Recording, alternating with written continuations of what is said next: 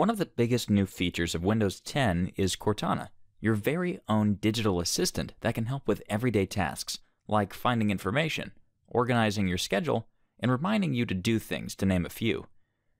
And the more she learns about you, the more personalized your experience will be. To get started with Cortana, just tap or click the search box on your taskbar and type a question. For example, you can ask what the weather's like in New York, and Cortana will give you the answer.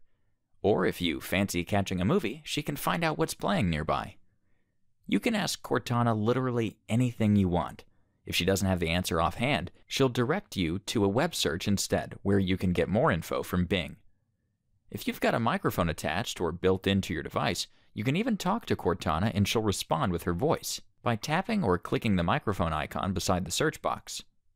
First, you'll need to give her permission to access your microphone and other data so she can understand the way you talk.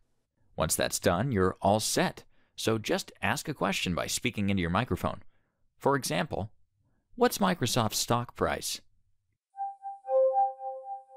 Microsoft closed up 0.1% yesterday at 57.25. To talk to Cortana going forward, just tap or click the microphone icon each time to get her attention. Here's another example. How far is San Francisco from New York City? It'll take 44 hours and 49 minutes to drive to San Francisco, California. It's about 2,908 miles away. Speaking of travel, Cortana can also give you directions using the Maps app, so just tell her where you want to go. Give me directions from New York City to Washington, D.C. Getting you directions to Washington, D.C. In addition to travel directions, she can also track flights for you if you give her the flight number. American Airlines Flight 6138. American Airlines Flight 6138 to New York is on time, departing at 8.30 a.m. locally. Note that if Cortana has trouble hearing you, she'll let you know. Sorry about that. I didn't hear anything. If that happens, tap or click the link above to troubleshoot your mic and run through a quick setup process. This will involve reading a few sentences aloud to test the mic and help Cortana get familiar with your voice. Once that's done, you should be in good shape, so tap or click the mic icon to try again. Let's try a few more examples. For the next one, we'll get her to translate a phrase for us. How do you say, how are you in Japanese? Okay, here's how to say how are you in Japanese. お元気ですか Cortana's also great for checking facts. For instance, how high is the Eiffel Tower? Eiffel Tower stands 986.38 feet tall. Or you could use her to catch up with your favorite sports team. For example, who won the Mariners game? Take a look at this. Did you know that Cortana's also a maths wizard? So she can do calculations for you too. Let's start with a simple conversion. Convert 6.2 meters to feet. 6.2 meters is approximately 20.34 feet. Here's another one. What's 47% of 9 million? That makes 4,230,000.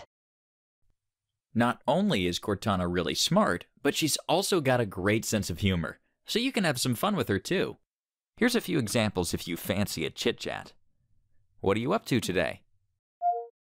Working out the mechanics of a virtual fist bump. How did you get your name? We tested it with baristas. Vanilla latte for Cortana. Sounds great, don't you think? And lastly, tell me a joke. Two antennas got married. The ceremony dragged on, but the reception was excellent. All right. Remember, you can ask Cortana literally anything you want, so get creative and have some fun. You might be surprised at what you hear. For a more personal service like helping out with your schedule, Cortana will need to learn a bit more about you. Click the link just above the search box to set the permissions so she can get to know you better. She'll need access to things like your location, contacts, calendar, and messages, as well as your browsing and search history. If you're happy with that, click Sure to give her access. then sign in to finish up. Once that's done, she'll display some tips on the home screen, along with recommended news and info, although you'll see more personalized info as she gets to know you, like your daily schedule and specific news based on your interests. We'll show you how to personalize the home screen in our video on customizing Cortana later. Now that you've linked your Microsoft account to Cortana, she can help out with more personal stuff. For example, you can give her tasks like setting alarms or reminders. Wake me up at 7 a.m. every weekday. Sure thing. I've turned on your alarm for every weekday at 7 a.m. To cancel the alarm later, just say, Cancel my 7 a.m. alarm. I've turned off your alarm for 7 a.m. You can also set a reminder for a particular time or place if you've enabled location tracking. For example, remind me to pick up the dry cleaning when I leave work on Tuesday. I can remind you to pick up the dry cleaning when you leave the office. Sound good? Yes. Sure thing. Here, we've already added our office address to Cortana so she knows where we work. We'll show you how to do that as well as manage your reminders in our video on customizing Cortana. Other things Cortana's really good at is helping you organize your schedule. For instance, she can create meetings or appointments for you. Add lunch with Greg to my calendar for Monday, What's the start time? 12 p.m. All right. I'll add lunch with Greg to your calendar for Monday at 12 p.m. Sound good? Yes. Great. She can also change it if you need to reschedule later. Move my 12 p.m. lunch on Monday to 1 p.m. Okay, I'll change lunch with Greg to Monday at 1 p.m. Is that right? Yes. Sure thing. You can even dictate notes and messages using Cortana too. Send an email to Jasper. What should your email say? I got your comments, so we'll add the changes and get back to you ASAP. Here's your email. Send it, add more, or make changes. Send. I've sent it. Lastly, Cortana can also help you keep track of your schedule. What's my schedule like on Monday? I found two events Monday. At 10 a.m., meeting with design team. And at 12 p.m., lunch with Greg. There's literally so many things that Cortana can do, and we've only scratched the surface in this video. For more help and examples of what she's capable of, click See More Tips from the home screen. This will display a huge list of all the different types of things that she can help out with. So just select a category to view examples of what she can do.